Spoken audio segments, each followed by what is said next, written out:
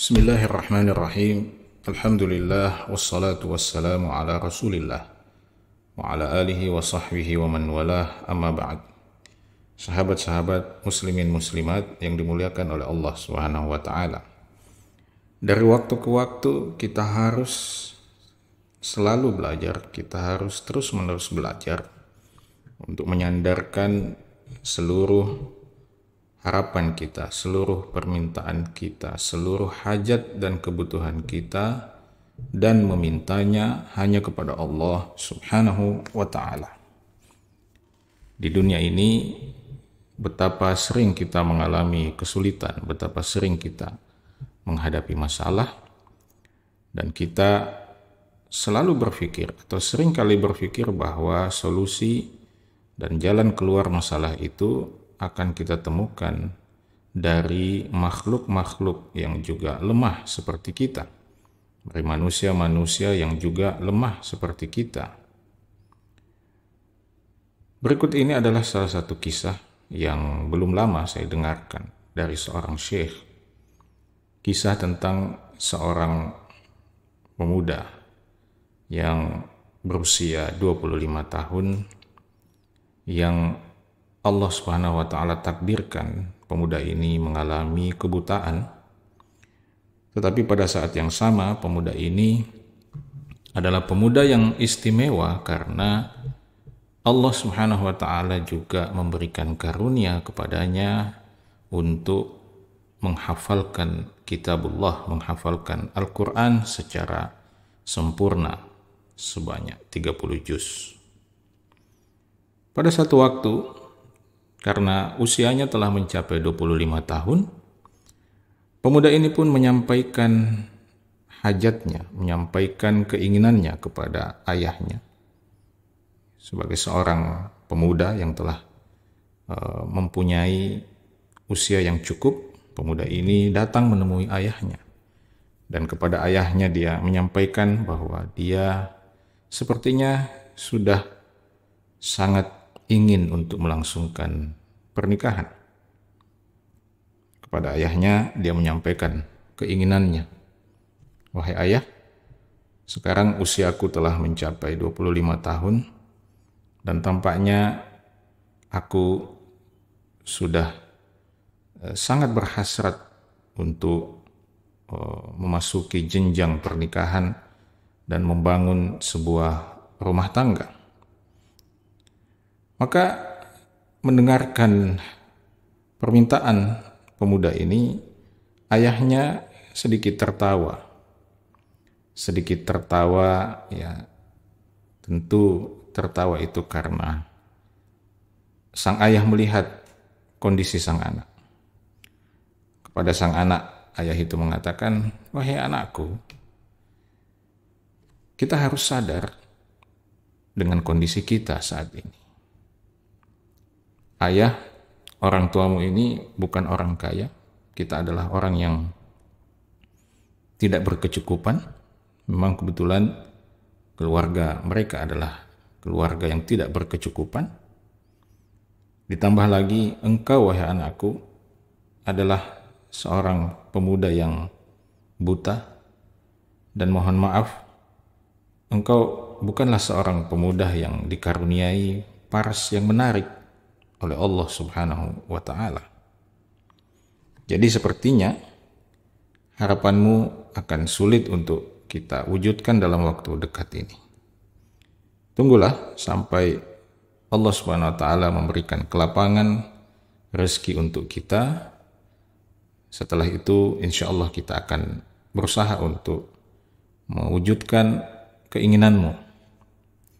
Tentu saja pemuda penghafal Quran ini kecewa dengan jawaban sang ayah, maka dia pun pergi menemui ibunya dan menyampaikan permintaan yang sama kepada sang ibu.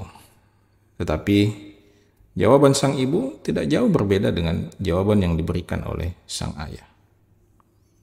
Sampai kemudian beberapa waktu sesudah itu, sang pemuda yang hafid Al-Quran ini berusaha untuk uh, menyampaikan dari waktu ke waktu, mengulangi permohonannya, mengulangi permintaannya kepada sang ayah, kepada sang ibu, bahwa sepertinya sudah waktunya bagi dia untuk menikah, tetapi jawaban yang diberikan selalu jawaban yang sama, selalu jawaban yang sama yang tentu saja jawaban yang sangat memprihatinkan ya, bahwa kondisi kita seperti ini, kondisi finansial kita tidak terlalu baik. Sementara engkau juga, wahai putraku, adalah ya seorang pemuda yang ya buta dan uh, secara fisik engkau bukan seorang pemuda yang menarik. Sehingga kemudian ketika sang pemuda ini berulang kali menyampaikan permintaan dan permintaan yang sama dan juga berulang kali pula dia mendapatkan jawaban yang sama. Pada satu hari dia tersadar, dia tersadar dengan kebodohannya selama ini dalam tanda petik. Kebodohannya adalah bahwa selama ini berulang-ulang kali dia menyampaikan harapan dan keinginannya kepada makhluk, kepada ayahnya, kepada ibunya, dengan segala penghormatan kepada sang ayah dan ibu. Toh, sang ayah dan ibu kita tetaplah makhluk ciptaan Allah Subhanahu wa Ta'ala yang diliputi dengan berbagai macam kelemahan yang dimiliki oleh seluruh manusia yang ada di muka bumi ini. Maka sang pemuda ini pun tersadar dari kebodohannya. Kenapa selama ini aku tidak meminta kepada Sang Maha Kaya? Kenapa selama ini aku tidak menyampaikan hajatku kepada Sang Maha Kuasa? Kepada kenapa aku tidak menyampaikan hajatku kepada Sang Maha Pemberi rezeki yaitu Allah Subhanahu wa taala? Maka pada malam itu, anak muda ini pun menunaikan sholat malamnya. Dan di penghujung sholatnya, anak muda ini kemudian berdoa kepada Allah SWT. Dia berdoa dengan doa-doa yang diiringi dengan tangisan yang pilu. Tangisan seorang anak muda yang sangat mengharapkan dapat membangun mahligai pernikahan tetapi terhalangi dengan berbagai kekurangan-kekurangan fisik, kekurangan-kekurangan material. Maka kepada Allah Subhanahu wa taala pemuda ini berdoa, "Ya Allah, hamba sudah sangat memimpikan untuk membangun sebuah mahligai pernikahan. Tetapi ayahku, ayah dan ibuku mengatakan bahwa aku adalah seorang pemuda yang buta. Padahal engkaulah ya Allah yang menakdirkan hambamu ini menjadi seorang hamba yang buta. Ayah dan ibuku mengatakan bahwa aku adalah seorang pemuda yang tidak menarik rupanya, tidak menarik parasnya, tidak menarik fisiknya. Padahal engkaulah ya Allah yang telah menakdirkan hamba untuk uh, hidup seperti ini, dalam keadaan seperti ini. Maka maka dengan segala kemaha perkasaanmu, dengan segala kemahakayaanmu ya Allah, hamba memohon, kabulkanlah permohonan hamba ini. Penuhilah hajat hamba ini. Karuniakanlah hamba seorang wanita yang solehah sebagai pasangan hidup hamba Engkaulah satu-satunya ya Allah yang maha kaya, Engkaulah satu-satunya ya Allah yang maha mendengar, Engkaulah ya Allah satu-satunya yang maha kuasa untuk melakukan apa pun. Dan kami makhluk-makhlukmu adalah sekumpulan makhluk yang lemah, yang tidak punya daya upaya kecuali dengan bantuan dan pertolonganmu. Singkat cerita, Sahabat-sahabat sekalian, pemuda ini pun berdoa sambil menangis, bermunajat sambil berurai air mata, sehingga kemudian dia tertidur di penghujung sholat dan di penghujung doanya itu. Di dalam tidurnya, pemuda ini kemudian bermimpi. Pemuda ini bermimpi uh, berada dalam cuaca dan kondisi yang sangat panas. Lalu kemudian tidak lama sesudah itu dia melihat sebuah istana yang tinggi. Lalu kemudian pemuda itu ya kepada pemuda itu istana itu semakin didekatkan, didekatkan, didekatkan sampai kemudian akhirnya pemuda itu mendekat kepada istana itu dan kemudian ketika dia akan memasukinya, dia memasuki istana itu, dia merasakan kondisi ya dan keadaan yang sangat sejuk, yang sangat nyaman, berbeda dengan kondisi pertama yang dialami, ya kondisi panas ya dan uh, sangat tidak menyenangkan. Pada saat itulah kemudian pemuda ini terbangun dari tidurnya dan ketika dia bangun dari tidurnya, pemuda ini merasa masih merasakan kondisi sejuk, masih merasakan uh, udara yang sejuk seperti yang dialaminya di akhir mimpi tersebut. Singkat cerita kemudian pemuda ini menemui, datang menemui seorang seorang syekh yang Eh, biasa eh, menakwilkan eh, mimpi. Lalu kemudian pemuda ini menceritakan mimpi yang dialami kepada sang syekh itu. Lalu kemudian syekh itu bertanya kepada pemuda ini. Kemarin sebelum engkau tertidur, sebelum engkau tertidur di malam itu, apakah engkau sempat mengerjakan sholat dan berdoa kepada Allah Subhanahu wa Ta'ala? Maka pemuda ini tentu saja menjawab, "Iya." Ya, pemuda ini cukup terkejut. Ya, kenapa Syekh ini kemudian uh, menanyakan hal itu seakan-akan Syekh ini tahu apa yang dia lakukan. Maka dia mengatakan, iya semalam saya sempat mengerjakan sholat, kemudian saya berdoa di ujung sholat itu dan kemudian saya tertidur. Maka singkat kemudian Syekh itu kemudian mengatakan, apakah yang engkau minta yang engkau doakan kepada Allah Subhanahu wa taala itu adalah engkau menyampaikan hajat dan keinginanmu untuk menikah, untuk melangsungkan pernikahan dengan seorang wanita yang soleha. Maka pemuda itu kembali mengatakan, betul, itulah yang saya minta kepada Allah Subhanahu wa taala.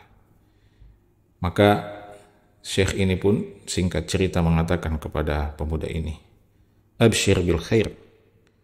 Ya, eh, optimislah dengan kabar baik, dengan kabar gembira yang insya Allah akan Allah berikan kepadamu. Insya Allah apa yang kau minta semoga akan dikabulkan oleh Allah Subhanahu wa taala dalam waktu dekat. Dan uniknya Syekh ini mengatakan kepada sang pemuda ini bahwa kalau engkau ingin menikah ketuklah pintu siapa pun yang kau inginkan ketuklah pintu rumah di mana engkau uh, akan memilih atau meminang anak gadis mereka, maka insya Allah Allah akan kabulkan apa yang engkau minta. Tetapi kalau boleh aku menyarankan kepadamu wahai anak muda, carilah dan ketuklah pintu rumah wanita terbaik yang engkau ketahui. Datangilah pintu rumah wanita terbaik yang engkau ketahui untuk engkau sampaikan hajat baikmu ini, untuk engkau sampaikan keinginan baikmu ini untuk menikahi putri mereka.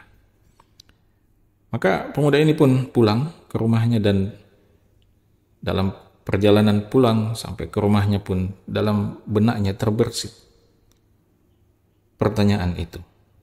Pertanyaan tentang siapakah gadis terbaik yang ada di kota itu, di kota tempat sang pemuda ini tinggal. Sehingga kemudian terlintaslah dalam pikirannya putri si fulan, ya, bintu fulan, ya, putri si fulan, ya, putra uh, putri atau anak gadis ya, yang dikenal sebagai anak gadis yang uh, solehah, anak gadis yang eh, tercantik di kota itu dan orang tuanya adalah orang orang se seorang yang terpandang dan uh, cukup uh, berada ya, di kota tersebut. Maka dia sampaikan, pemuda ini kemudian menyampaikan keinginannya itu kepada ayahnya. Wahai ayahku, Ananda ingin menikah. Ananda bermaksud untuk menikah dan bermaksud untuk melamar putri anak gadis si Fulan. Mendengarkan nama si Fulan yang disebutkan itu. Sang ayah kembali tertawa seperti sang ayah sebelumnya tertawa. Tertawa kecut, tertawa pahit ketika mendengarkan permintaan-permintaan anaknya. Kali ini pun sang ayah tertawa dan ayah sang ayah mengatakan, Wahai anakku, tidakkah kau sadar diri siapa nama yang kau sebut itu? Wahai anakku, tidak kau Tidakkah kau mengetahui siapa si fulan itu? Tidakkah kau mengetahui siapa anak gadisnya? Anak gadisnya adalah anak gadis yang eh, tercantik di kota ini. Anak gadisnya adalah anak gadis terbaik di kota ini dan si fulan adalah orang terpandang, orang yang berada, orang kaya. Sementara kita ini bukan siapa-siapa anakku. Tetapi karena putranya mendesak ya dan mungkin memberikan penjelasan yang cukup masuk akal kepada ayahnya. Singkat cerita mereka pun datang ke rumah si fulan orang terpandang di kota itu dan ketika mereka masuk Assalamualaikum Waalaikumsalam disambut oleh tuan rumah dan tuan rumah mendengarkan uh, permohonan uh, keinginan mereka ingin melamar putri mereka dan Ternyata si fulan orang kaya ini tahu bahwa anak muda ini adalah seorang penghafal Al-Quran. Maka sang si fulan, sang orang kaya ini mengatakan, seorang penghafal Quran, seorang pemuda penghafal Quran. Masya Allah. Ini adalah satu kebaikan yang luar biasa. Ini adalah satu kebaikan yang luar biasa. Ini adalah satu keberkahan yang luar biasa. Seorang pemuda penghafal Al-Quran. Tenanglah wahai anak muda, saya hanya tinggal menunggu persetujuan dari anak gadisku. Aku akan sampaikan permintaanmu, aku akan sampaikan permohonanmu ini untuk melamar dan menikahi anak gadisku, aku akan sampaikan kepada anak gadisku. Kalau dia mengatakan setuju, maka insya Allah kita akan langsungkan pernikahan ini. Maka sang ayah ya yang terpandang ini pun masuk ke dalam menemui anak gadisnya dan menyampaikan tentang seorang pemuda penghafal Al-Quran yang buta datang ke rumah bermaksud melamar sang anak, sang gadis. Maka sang anak yang solehah ini pun mengatakan, apakah ayah sendiri sudah setuju dengan itu? Apakah anda ayah sendiri sudah menerima hal itu? Maka ayahnya mengatakan, ya ayah menerimanya, tetapi sekarang tinggal persetujuanmu wahai anakku. Maka sang anak, sang putri, sang gadis yang soleh ini pun mengatakan, Bismillah wahai ayah, kalau itu yang terbaik menurut ayah maka Bismillah kita akan langsungkan pernikahan ini dan saya menerima menerima lamaran ini. Begitulah akhir daripada kisah yang luar biasa ini sahabat-sahabat sekalian. Dan kalau ada banyak pelajaran maka setidaknya satu di antara pelajaran terpenting dari kisah ini adalah bahwa dalam setiap kesulitan-kesulitan kita, dalam setiap masalah-masalah kita, jangan lupa bahwa di sana ada Allah Subhanahu wa taala yang maha kuasa di sana ada Allah Subhanahu wa taala yang Maha Penyayang. Di sana ada Allah Subhanahu wa taala yang Maha mendengarkan. Mendengarkan permintaan kita, mendengarkan jeritan hati kita, mendengarkan curhatan-curhatan kita.